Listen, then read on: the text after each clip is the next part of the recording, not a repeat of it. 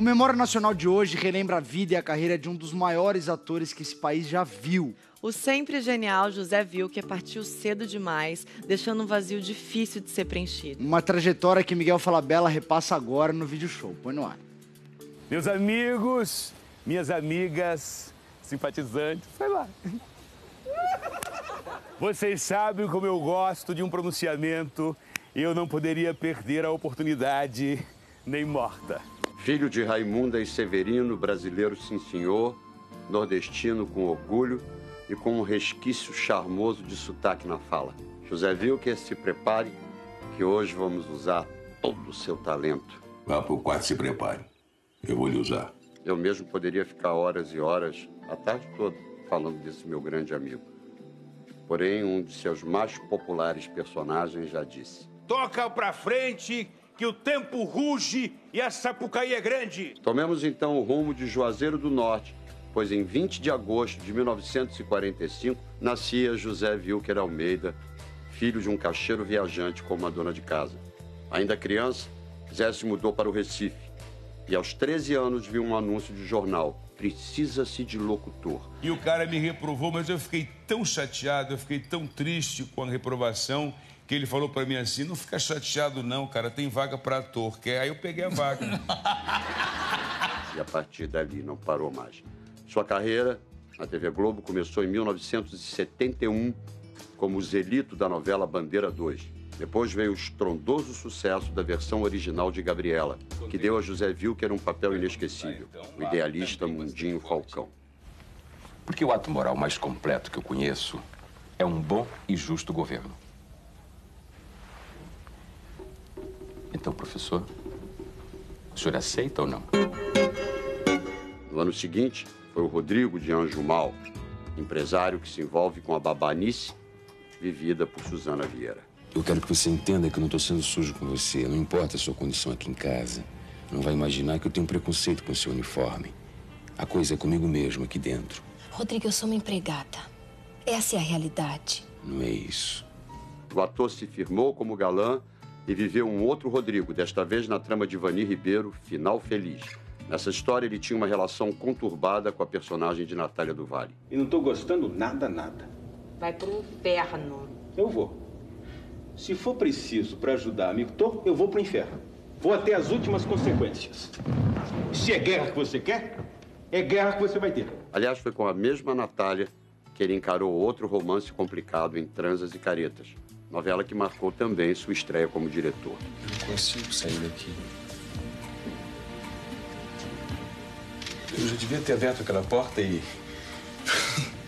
Eu e ele fizemos juntos o Sai de Baixo, ele era diretor do programa ao lado do Denis Carvalho, e durante o tempo em que me dirigiu, viu que mereceu várias homenagens. Uma delas, em seu aniversário, foi até registrada pelo nosso video show. Também tive a honra de tê-lo como irmão em Mico Preto, ele era Fred, e eu vivi os gêmeos Zé Luiz e Arnaldo.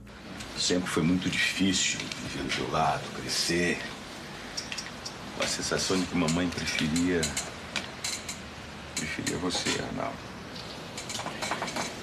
O herói de todos nós, o mais forte, o mais esperto, o mais rápido. Ele foi alguém tão próximo da minha vida que nós cantamos e dançamos juntos, vestidos de palhaços, numa das mais marcantes vinhetas de fim de ano da TV Globo. E se cair, levante,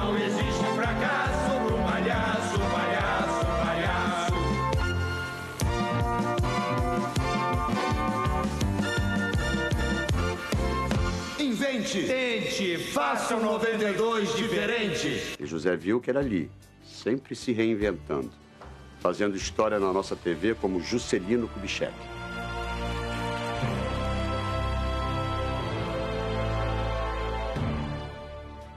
Ou como o herói de rock santeiro que regressa à Asa Branca para provar que de santo não tinha nada. Muito pelo contrário, causou o maior reboliço no relacionamento de Porcina e Senhorzinho Malta. Olá, Chico Malta. Boa noite. Boa noite. E no último capítulo, Rock vai embora numa cena em homenagem ao clássico Casablanca. Vamos. Rock. Não precisa falar nada. Eu sempre soube que vocês foram feitos um pro outro.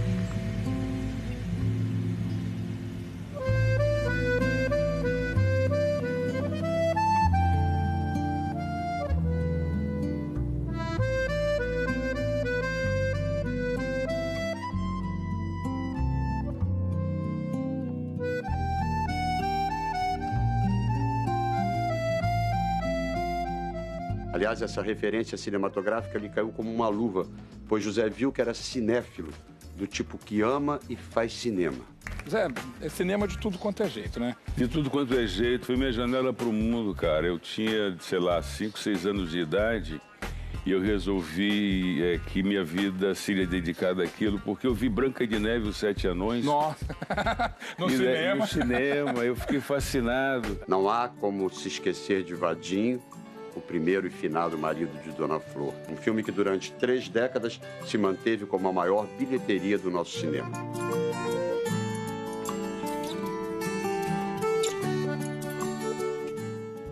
José Wilker era tão carismático que até quando fazia um vilão, os telespectadores amavam odiá-lo. Foi assim com o ambicioso Coronel Belarmino de Renascer, Sujeitinho, muito falador, tem o zóio maior que a barriga, os braços maior que as pernas. Imagine você que ele marcou as terras dele de um jeito tal que eu fiquei imprensado aqui num canto. com o corrupto prefeito Demóstenes de Massaranduba em Fera Ferida, Eu sou é um bastião da safanagem. Eu sou é um ordinário, um corrupto, um safado. e com o repugnante e inesquecível Coronel Jesuíno, já na segunda versão de Gabriel. A senhora cuida bem de casa, dona Sinhazinha. É minha obrigação, meu marido. Eu sei. Vá se arrumar. Hoje eu quero de novo. Meu marido me perdoe, mas eu tô com uma dorzinha no dente, lá no fundo. Eu fiquei indisposta. Mulher minha, quando eu quero, não tem disposição. Se tá com dor de dente, vá no dentista e conserte. Vá pro quarto e se prepare. Eu vou lhe usar.